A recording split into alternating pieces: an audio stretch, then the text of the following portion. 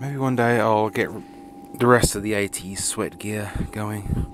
Well, I don't tend to have sweaty wrists. Greetings and salutations. I'm back down the shed again. Want to do some more work on the claws. Now, it's been a few days since I've worked on these, so I've got a I've had time to think about where I want to go with these, and I've decided that what's probably going to be best, at least uh, to start off with, is I'm going to try and cut out a channel on here.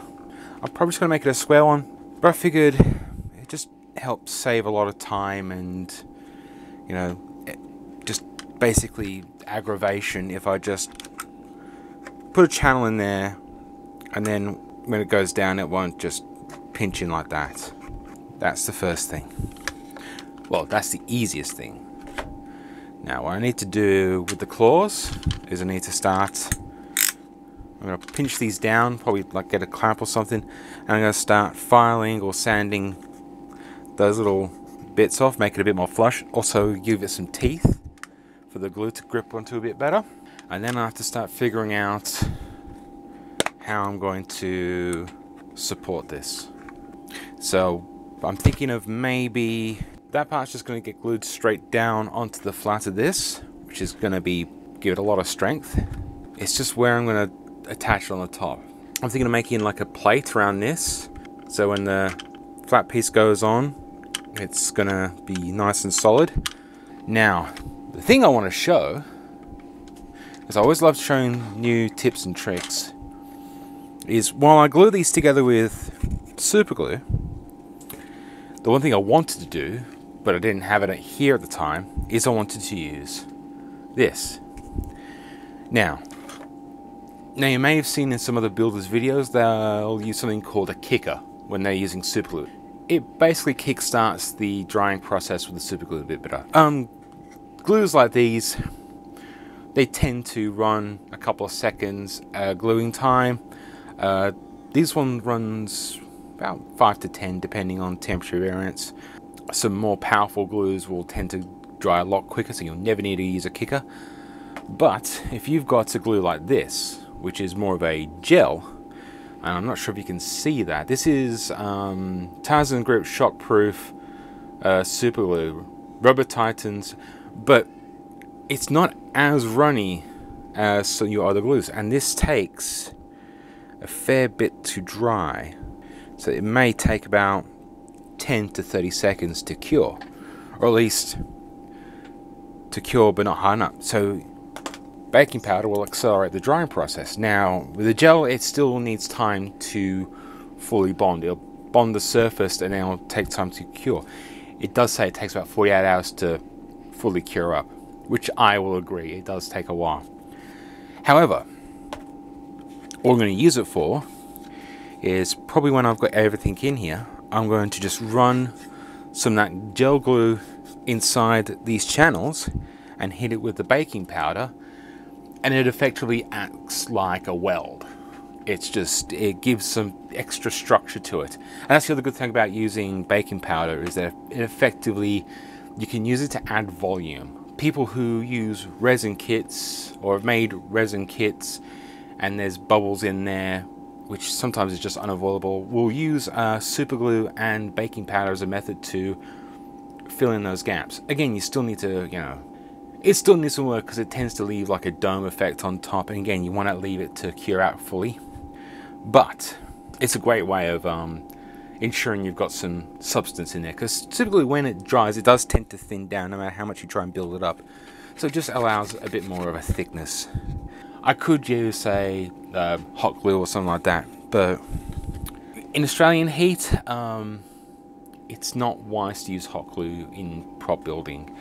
Uh, your body heat mixed with the foam basically will just weaken the shit out of hot glue. And I have a friend who built this big elaborate costume for Wycon, I think it was Wycon, and he was out there for a couple of hours, and then the body heat plus the Perth temperature at the time, it was like mid to late February, so it was just after the peak of summer. And even though he was in a air conditioning area, it was still hot enough that it just basically melted. all the glue melted and it was falling off. So super glue is good for binding. If you're going to use hot glue, use it for reinforcing. Uh, but in this case, I'm just going to use my glues for that. Now, I'm still figuring out how to do the rest of the costume. I do have a material. I'll just grab it right now. Now, I do have this. This is called Corflute. It's basically like corrugated cardboard, but it's plastic. You may have seen these as like signs and stuff like that. Uh, this was an X sign. It's got a lot of these stickers and that on there. I don't particularly want, but I can use that side. I'm prob I'm just going to prototype with this at the moment because I'm not entirely sure how well this is going to work. Now I've seen some reports that say glues are completely ineffective. I've heard that super glue is effective, but primarily what people tend to use with this is heat forming, and I'm not sure how effective I can be at that for what I'm doing. As you can see, this was mechanically attached. Now I am contemplating using pop rivets, but I'm not sure the structural integrity is going to be any good. I mean, it is plastic. There's a very good chance that a pop rivet will just pop out. I could probably use a pop rivet with a washer, but this is 5 mil thick. You can get 2.5 mil, but that is quite a bit of area to get a rivet through and a washer. So it might be one of those things I might need two washers, I might need something just so it gives give a surface area it won't just immediately pop once it's riveted. And you know once it's popped you you can't stop. Like every material there's always a positive and a negative. This is positive is because it's pretty cheap. It's relatively easy to work with. It's very light but I don't know about structural integrity. I could just as well use PVC foam board but whereas like the equivalent size of a PC foam board to this, this is about five bucks. PC foam board is 20 to 30 to 50. So, yeah, I don't have that. I'm not that rich. I'm not making any money off YouTube, I'll tell you that. So we'll see how we go.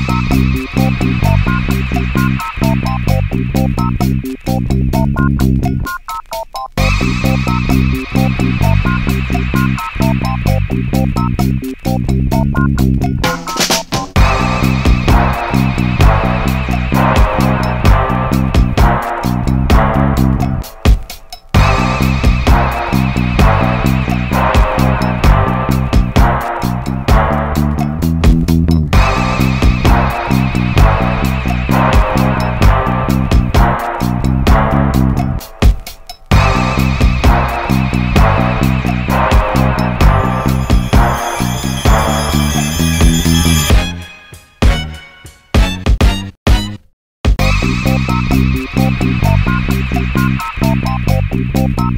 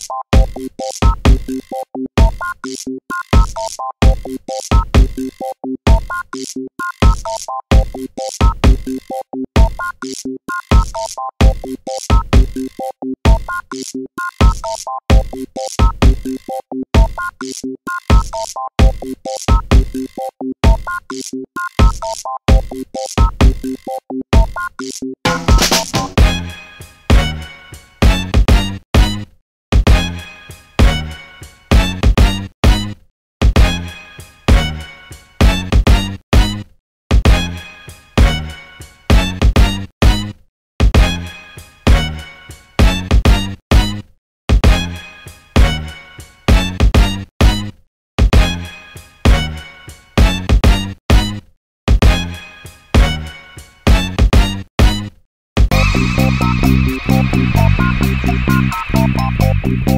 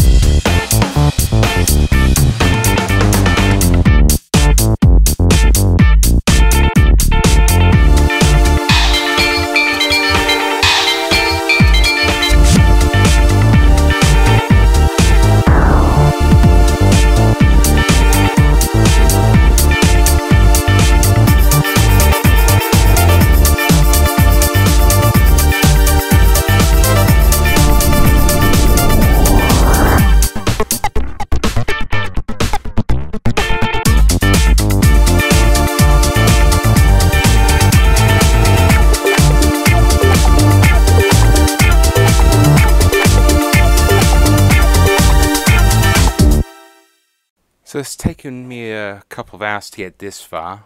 Um, not 100% happy, I'll be honest, and so if I'm going to be using this, it's probably one of those things where I'm going to be very careful. But I'm tempted to get a heat gun and try and bend this around, but... Uh,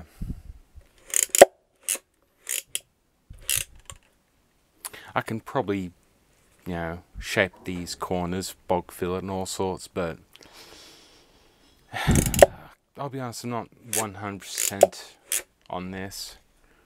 but it'll probably fine. I don't know if I want to plug these little holes in here. They're probably fine. No one's probably going to notice that. They're going to be entirely up. I'm going to pretty much hold these like that. I'm define I'm just trying to decide if I want to keep it static sideways or I want to be able to turn them. I'm tempted just to keep them static. That means I just need to cut out a hole. I'll probably pull this apart and refeed it back into the the wrist part and go from there and just keep it as a static piece.